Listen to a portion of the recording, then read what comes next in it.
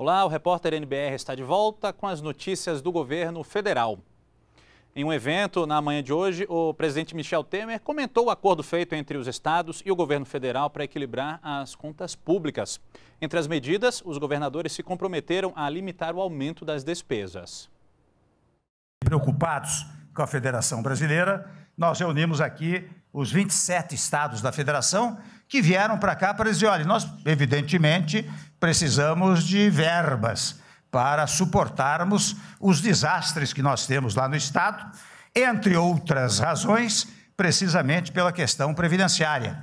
Mas, de outro lado, nós viemos também para dizer que não só vamos seguir o exemplo da União, portanto, estabelecer teto de gastos, estabelecer regras rígidas para o controle dos gastos públicos, como também viemos para dar apoio às iniciativas do governo federal. Nós conseguimos aquilo que é fundamental numa federação, ou seja, a ideia de que União, estados e, no particular, municípios devem trabalhar juntos em função do país e, curiosamente, muitos sustentaram, independentemente de interesses partidários. Nós temos que nos dar as mãos neste momento para que possamos tirar o país da crise gerar o crescimento e, ao depois, o emprego pleno no nosso país. Por causa da seca, quatro municípios do Ceará tiveram situação de emergência decretada pela Defesa Civil. O governo federal também vai acelerar obras emergenciais, intensificar a gestão e a aplicação de políticas públicas para garantir o abastecimento de água na região. Em setembro foram investidos cerca de 2,6 bilhões de reais em 28 obras hídricas no Ceará. Os recursos foram liberados pelo Ministério da Integração. Mais de 750 milhões de reais foram liberados para obras do Programa de Aceleração do Crescimento. Mara Kenup tem as informações.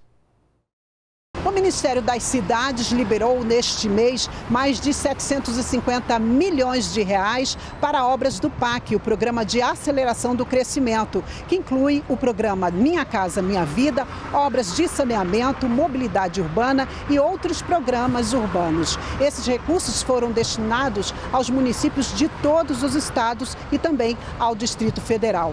E outra notícia é que o Ministério das Cidades estuda alterações em critérios do programa Minha Casa Minha Vida para atender aos pequenos construtores.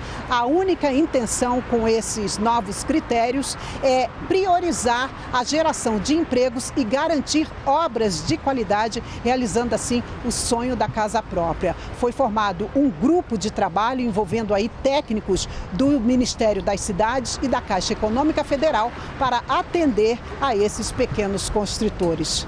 Maraquenupe, de Brasília. O ministro da Educação voltou a defender a reforma no ensino médio. Para o governo, a mudança do sistema educacional é necessária e urgente.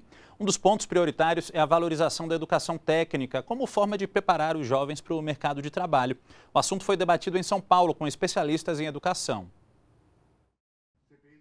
Durante o encontro, foi discutida a urgência de mudanças no setor. O ministro da Educação, Mendonça Filho, disse que os números do ensino médio no país são assustadores. 1 milhão e 700 mil jovens que nem trabalham nem estudam, quase um milhão de jovens com 17 anos fora do ensino médio. É, o nível de desempenho dos estudantes de nível médio no Brasil em português e matemática é pior do que há 20 anos. Um quadro, para mim, calamitoso. Hoje, de acordo com a Associação Brasileira de Mantenedoras de Ensino Superior, 83% dos jovens não entram para a universidade. E é para essa multidão que a educação técnica aparece como uma das soluções para tornar o ensino médio mais atrativo e preparar o país para as transformações do mundo do trabalho. A taxa de jovens entre 15 e 17 anos no Brasil com formação em educação profissional é de somente 11%, enquanto, em média, países desenvolvidos têm 50% de adolescentes nesta faixa etária em cursos técnicos, segundo dados do Senai. Os principais países industrializados e emergentes mais bem-sucedidos têm mudado os seus sistemas educacionais a partir de, da crise de 2008 e 2009, intensificando de maneira aguda essa maior articulação entre a educação de nível médio com educação profissional nesse contexto de profissões mais flexíveis que incorporem a criticidade da educação regular, que ela é absolutamente necessária, e a qualidade da educação, mas que dê também aos estudantes que passam pelo fluxo educacional uma identidade social a partir de uma profissão. Ainda falando de educação, os cadernos e os gabaritos do ENAD, o Exame Nacional de Desempenho dos Estudantes, realizado no último domingo, já estão disponíveis na internet. Nesta edição foram avaliados cursos superiores e tecnólogos das áreas de saúde, ciências agrárias e áreas relacionadas. Quem fez as provas deve responder a um questionário do estudante no sistema ENAD, esse site aqui que aparece aqui na sua tela.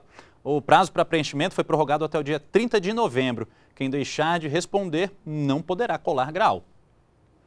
Esta edição do Repórter NBR termina aqui. Voltamos a qualquer momento com outras informações ou daqui a uma hora em nossa próxima edição. Acompanhe as novidades também pelas redes sociais. Continue na NBR, a TV do Governo Federal.